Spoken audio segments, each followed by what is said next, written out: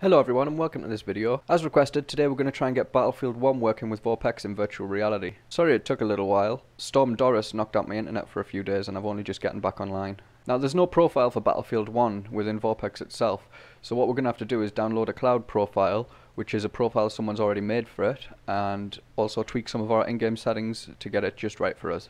So let's take a look at my desktop and I'll show you how that's done. Okay, so the first thing we're going to want to do is actually launch the game without VorpX and the Oculus Home open, so it's on our screen. So let's do that now.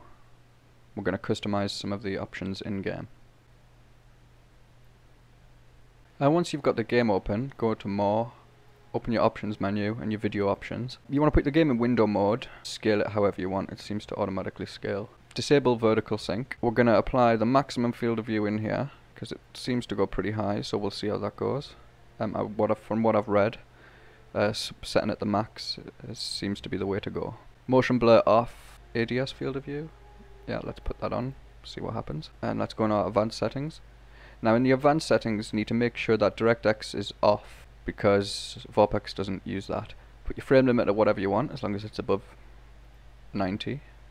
And just choose any of the other custom settings. I've got all mine on low right now just so I can get the best possible frames. Apply the settings and let's go back. Okay, play the game to a point where you can save and it generates all the config files and then quit the game. There's a few other things that we can do now to further optimize the game for a better experience. Open your libraries, go to where your documents are, Battlefield 1 folder, in the settings folder.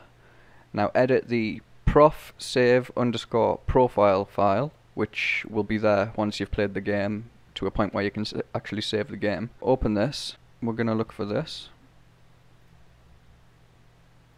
And we're going to change the value here on this to this. And for the width, for the width we're going to put this. Okay, great. Save the file, close the file. Okay, now's the time to configure VorpX. So let's start up VorpX, right click configure, there's no profiles, so we're going to download one from the cloud profiles. So once you're logged in, go to cloud profiles, type in Battlefield 1,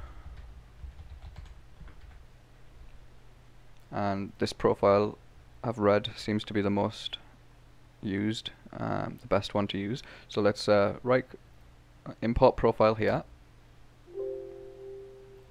So now that will be, here we go, Battlefield 1. There's nothing in the game settings optimizer, but don't worry, we've just uh, optimized our game settings uh, manually, so just apply and close. Now let's open up the Oculus app, launch the game and give it a try. Fingers crossed everyone. And once you're in game, just hit the middle mouse button to zoom you right out of the screen, navigate the menus. Let's go to campaign, because this is not online. Play War Stories. I've never played this game, just to note. Storm of Steel, I think that's... Okay, I'm not sure, so I'm just going to press it. I don't know if you can tell, but I keep pressing and repressing the middle mouse button just so I can read different things. Okay guys, we're in. Even without editing any of the VorpX settings, it's it's okay. I just want to shoot some people, see what it's like.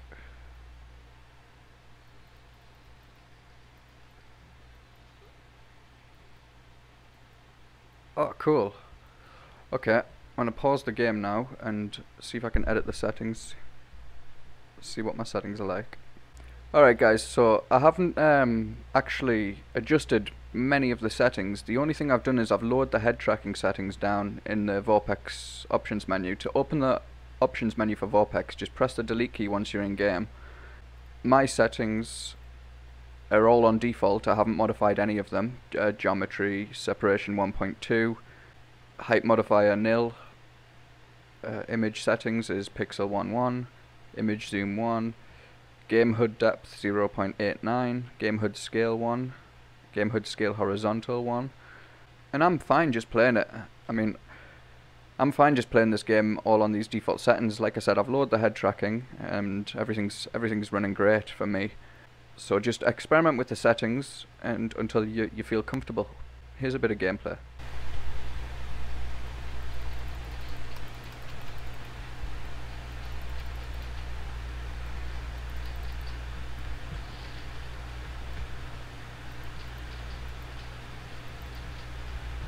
Thanks for watching this video guys. If you've liked it and it's helped you, give me a like and drop me a comment below. I always love to know what's going on with everyone and if you have any special requests or recommendations, do let me know below and I'll try and get a video up ASAP for you.